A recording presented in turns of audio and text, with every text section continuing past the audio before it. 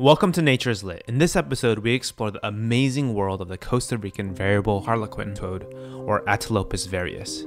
This particular toad gets its name from the fact that it's quite variable in its appearance.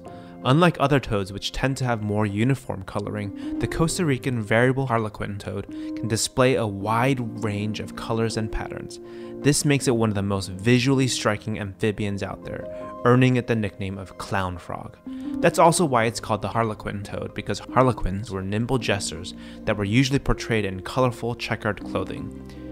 These toads are incredibly interesting creatures and very endangered. In this episode, we'll take a deep dive into the world of the clown frog, their importance for some cultures, the massive threat to their survival, as well as their fascinating ecology and biology, including how their omnivorous diet helps them produce a very potent venom. So let's get started.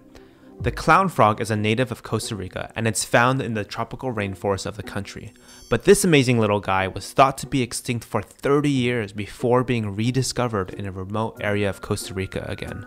These frogs are small, only reaching about 2 inches in length.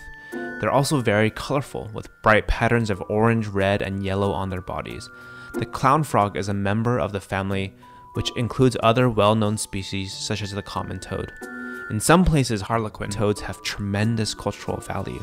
In Panama, there is a national holiday celebrating the Panamanian golden toad, which is also their national animal. Images of this harlequin toad can be found on their lottery tickets and artwork in markets.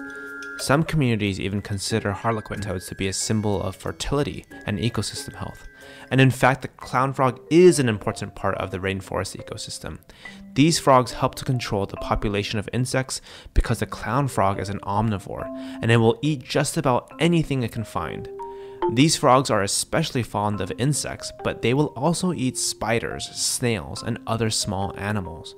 Actually, many of the insects these frogs feast on are poisonous, and over time, the toxins build up in their system and become concentrated in their skin, making the frogs themselves poisonous. The toxins in the clown frog's skin can cause nausea, vomiting, and even death if ingested. This is helpful because it discourages predators.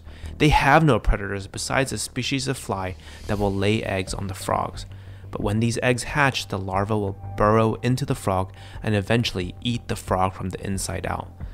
Nevertheless, the greatest threat to their existence is not from predators, but they do face threats that put the clown frog in danger of disappearing forever. These frogs are threatened by habitat loss, climate change, pollution, and disease. In fact, according to Rewild, despite their important role in cultures across the neotropics and their vital role in the ecosystems in which they live, including as indicators of water quality, entire species of harlequin toads started vanishing in the mid 80s, shocking biologists and spurring conservationists to action a deadly infectious disease called chytridiomycosis, chytrid for short, has begun its spread through the neotropics and continues its destruction today. Chytrid ultimately results in what is akin to a heart attack in the animals it infects. So, what can be done? There are several things that we can do to help save the clown frog.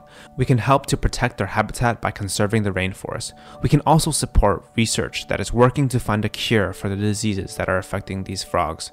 These efforts can help ensure that these amazing creatures stick around for generations to come. For more mini explainers and insane nature videos, click the like button and make sure you subscribe to our Nature is Lit channel.